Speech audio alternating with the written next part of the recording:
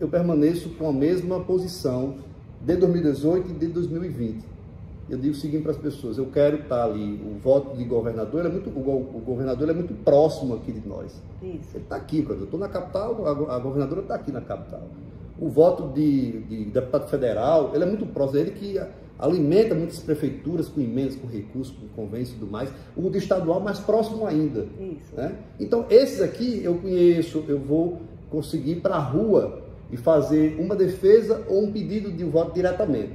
Né? Claro que possa, possa ser que tenham, que chega um momento que não, dentro, dentro desse cargo aqui eu não tenho ninguém para pedir voto. Pode ser que tenha também. Isso. Pode ser que tenha. Não estou dizendo que vou ter que votar no governador, que vou ter que votar no senador tal, não. Vou votar se, se eu entender que eu tenho que dar, dar o meu voto e pedir o voto para ele. Você pode não ter candidato a governador, por exemplo? Lhe digo, lhe digo com muita tranquilidade que possa, possa ser sim, sem nenhum problema, que eu vá para as ruas trabalhar para Jadson, trabalhar para Laurence. Quando eu digo isso, é pedir às pessoas que me acompanhem, que me ajudem a isso, a eleger esse candidato. Possa, ter, possa ser que, a depender é, dos nomes que se tenha ao final das contas, depois de registrar, que eu não, não declaro o voto é, para nenhum desses cargos majoritários, outros aqui a nível de Estado. A nível de presidente, eu digo a mesma coisa. Eu acho que cada um tem que. O voto de presidente da República eu acho que é um voto muito mais pessoal ainda.